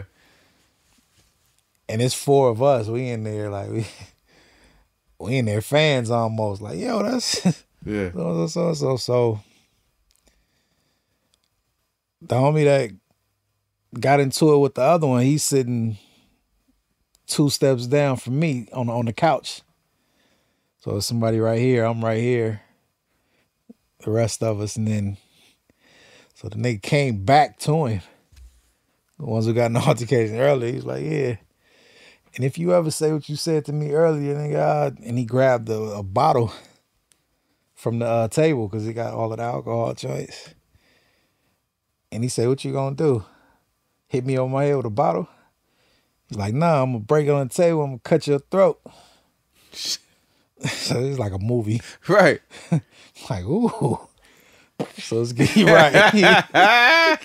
so it's getting tense.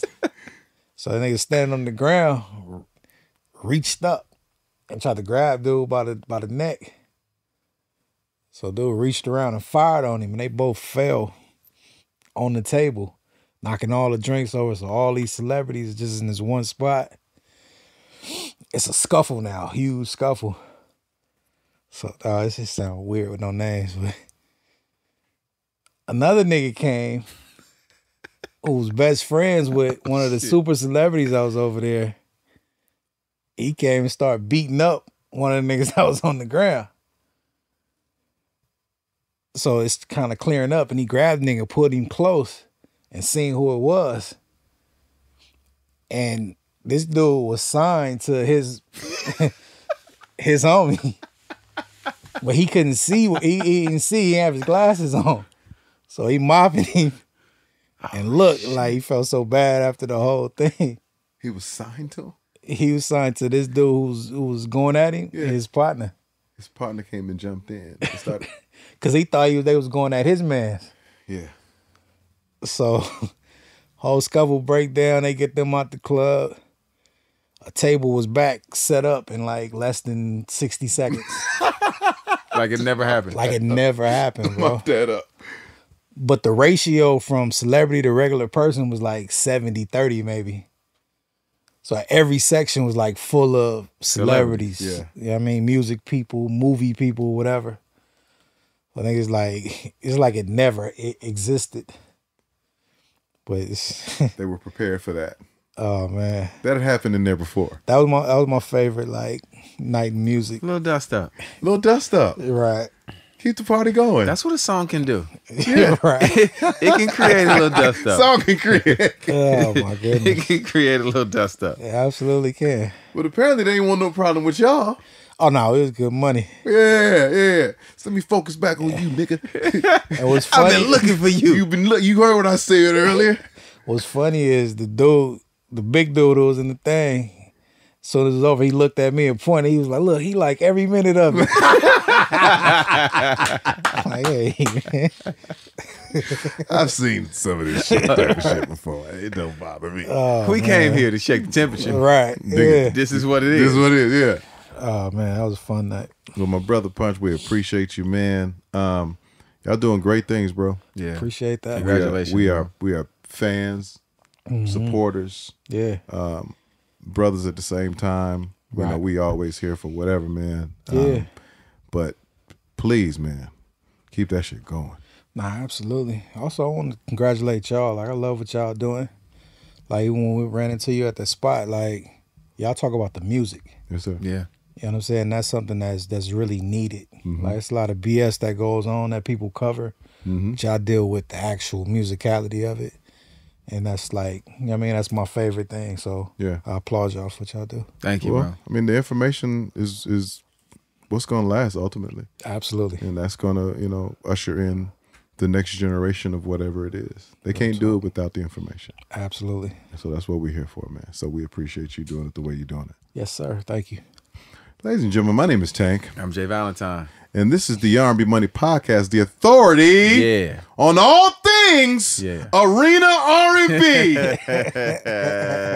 arena. Yeah. and if you snooze and wake your punk ass Wake your punk ass up. Punch TD in the